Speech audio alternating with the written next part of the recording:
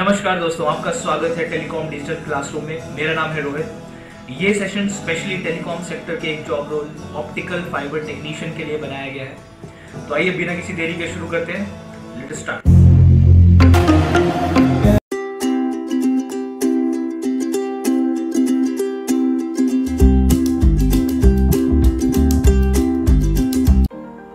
आज का हमारा टॉपिक है specifications of optical fibre cable तो सबसे पहले हम जानेंगे कि ऑप्टिकल फाइबर केबल की स्पेसिफिकेशन के बारे में जानना क्यों आवश्यक है।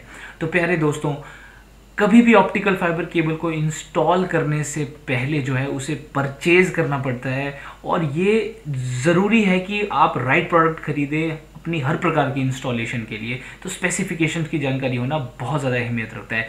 इसके अलावा जो भी इंस्टॉलर ऑप्टिकल फाइबर केबल को इंस्टॉल करते हैं उनकी कॉम्पिटिटिव बिड सिचुएशन यानी कॉम्पिटिटर्स के आ, को ध्यान में रखते हुए जो है ऑप्टिकल फाइबर की स्पेसिफिकेशन को अप्लाई करना बहुत ज़्यादा इंपॉर्टेंट यहाँ पे हो जाता है। इसके साथ साथ जो भी इंस्टॉलर होते हैं ऑप्टिकल फाइबर को इंस्टॉल करते हैं ज़्यादातर इंस्टॉलर्स को जो है वो लैक ऑफ़ नॉलेज होता है एक्सपीरियंस नहीं होता है। एक डिटेल्ड स्पेसिफिकेशन वो ऑप्टिकल फाइबर केबल की नहीं लिख पाते हैं इंस्टॉलेशन से पहले तो ज़्यादातर जो है वो कॉन्ट्रैक्टर्स जो है वो इंजीनियर्स की सलाह वो लेते हैं। इसलिए जो है स्पेसिफिकेशन के बारे में जानकारी एक बहुत बड़ा ही महत्वपूर्ण मुद्दा है। तो ऑप्टिकल फाइबर केबल को जो बेसिकली दो कैटेगरीज में कैटेगराइज किया गया है, सबसे पहले single mode optical fibre cable and the second is a multi mode optical fibre cable जबकि कमर्शियल बेसिस पे ऑप्टिकल फाइबर केबल को जो है वो तीन बेसिक टाइप्स में डिवाइड किया गया है। सबसे पहले outdoor optical fibre cables indoor optical fibre cables and indoor and outdoor जिनमें दोनों विशेषताएँ होती हैं, वो optical fibre cables single mode और multi mode optical fibre cables का अपने आप में एक अलग इस्तेमाल है। Single mode optical fibre cables को जो है वो लॉन्ग डिस्टेंस डेटा ट्रेवल करने के लिए इस्तेमाल किया जाता है, जबकि multi mode optical fibre cables को शॉर्ट डिस्टेंस जो है वो डेटा सिग्नल ट्रांसफ़र करने के लिए यूज़ किया जाता है। तो इन केबल्स के से जो है वो, इनकी अंडरस्टैंडिंग से जो है वो इंस्टॉलर्स को एक पॉसिबिलिटी मिल जाती है कि अगर हम इन केबल्स का यूज़ इंडोर के लिए करेंगे, यानी किसी बिल्डिंग के अंदर के लिए करेंगे तो हमें क्या क्या स्पेसिफिकेशंस की ज़रूरत होगी? आउटडोर के लिए करेंगे तो किन स्पेसिफिकेशंस को जो है वो ध्यान में रखना पड़ेगा? अब अगर हम स्पेसिफिकेशंस की बात करें तो हम कैसी specifications indoor optical fibre cables में जो है वो प्रेफर करते हैं? तो सबसे पहली जो है flexibility indoor optical fibre cable installation के लिए फ्लेक्सिबल केबल होना बहुत ज़्यादा इंपॉर्टेंट है, क्योंकि ज़्यादा बैंड्स का सामना पड़ सकता है। इसके अलावा टेंसाइल स्ट्रेंथ उनकी जो है स्ट्रेच की जो लिमिट है, वो स्ट्रांग होनी चाहिए, मज़बूत होनी चाहिए। इसके साथ साथ जो है हम उसकी ईज़ ऑफ़ हैंडलिंग के ऊपर बहुत ज़्यादा ध्यान देते हैं, क्योंकि अगर इंडोर इंस्टॉलेशन करने से पड़ेगी तो जो है उसको ईज़िली हैंडल किया जा सके, अंदर ईज़िली कैरी किया जा सके। इसके अलावा जो है, वो फ्लेम रिटार्ड जो है, उनके अंदर ये स्पेसिफिकेशन होना भी बहुत ज़्यादा इंपॉर्टेंट हो जाता है, क्योंकि we need wires who don't catch fires so so, इन कुछ स्पेसिफिकेशंस का कुछ बेसिक स्पेसिफिकेशंस है जिनका ध्यान रखना जो है वो बहुत ज़रूरी होता है during installation of indoor optical fibre cables now if we talk about the specification for outdoor optical fibre cables तो ऑप्टिकल फाइबर केबल्स जो आउटडोर के लिए यूज़ होती हैं they should be temperature resistant क्योंकि वो आउटसाइड एनवायरनमेंट के साथ डील करेंगी तो गर्मी ठंड डिफरेंट टाइप ऑफ़ सीजन्स को जो है वो फेस कर सके टेम्परेचर रेजिस्टेंट हो। इसके अलावा जो है वो वाटर रेजिस्टेंट हो उसके अंदर पानी जो है वो इकट्ठा ना हो जिसकी वजह से उसके अंदर के फाइबर को कोई स्ट्रेस हो। आ, इसके साथ साथ जो है वो रेजिस्टेंट होनी चाहिए सनलाइट के या मॉइस्चर के नहीं तो जो है फाइबर पे जो है वो स्ट्रेस हो सकता है इम्पेयरमेंट वहाँ पे फेस की जा सकती है, जिससे कि डेटा सिग्नल को लॉस हो सकता है। इसके अलावा जो है टेंसाइल स्ट्रेंथ जो है वो भी स्ट्रांग होनी चाहिए, क्योंकि उसमें लॉन्ग पुल डिस्टेंसेस होते हैं तो कई बार स्ट्रेच करना पड़ सकता है, जो ऑप्टिकल फाइबर केबल जो आउटडोर में इंस्टॉल होती है तो टेंसाइल स्ट्रेंथ भी उसकी जो है वो अच्छी होनी चाहिए। सबसे मोस्ट इंपॉर्टेंट चीज़ जो है वो आउटडोर ऑप्टिकल फाइबर केबल्स के बारे में ये है कि ऑप्टिकल फाइबर केबल जो आउटडोर इंस्टॉल की जाती है, वो लगभग जो है एक लॉन्ग इंटरवल ऑफ़ टाइम की प्लानिंग से जो है उनको इंस्टॉल किया जाता है। वो ज़्यादा मार झेलती है in comparison to indoor optical fibre cable को इंस्टॉल करते वक्त, जो जितना नहीं फ़र्क पड़ता उतना उन पर ज़्यादा जो है वो फ़र्क पड़ता है।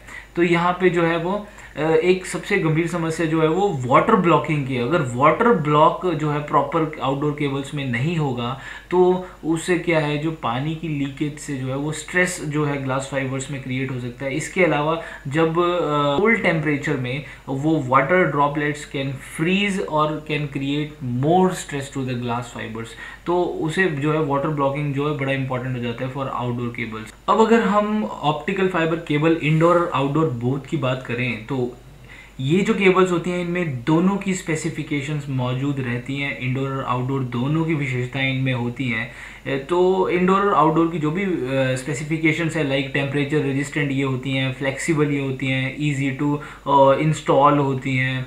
एंड इसके अलावा वाटर रेजिस्टेंट की क्वालिटी इनमें होती है और ये resistant to sunlight and moisture होती है। बिकॉज़ ये इंडोर एंड आउटडोर दोनों के लिए यूज़ होता है तो इनके लिए टेंसाइल स्ट्रेंथ भी जो है, इनके लिए जो है वो स्ट्रांग होती है।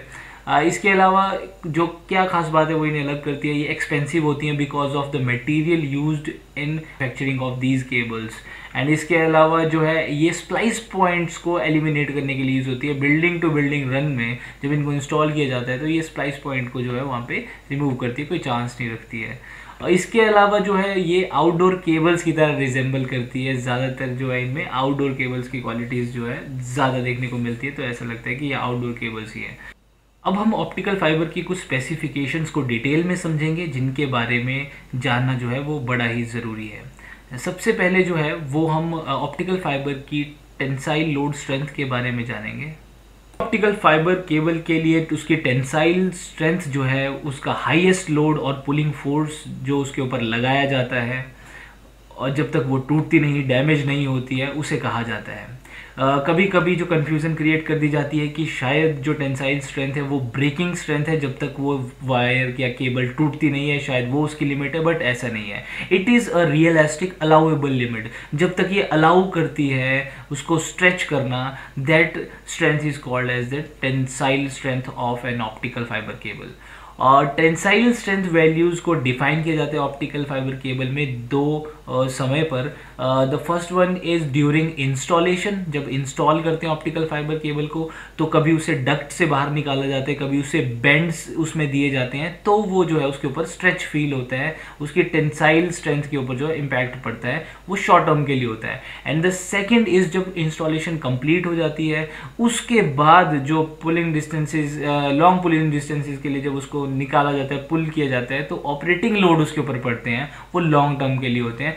तो वहाँ पे भी टेंसाइल स्ट्रेंथ की वैल्यू को जो है वो चेक किया जाता है। और ये वैल्यूज़ जो है डिपेंड करती है केबल कंस्ट्रक्शन किस हिसाब से हुआ है, कितना फाइबर का काउंट है वहाँ पे।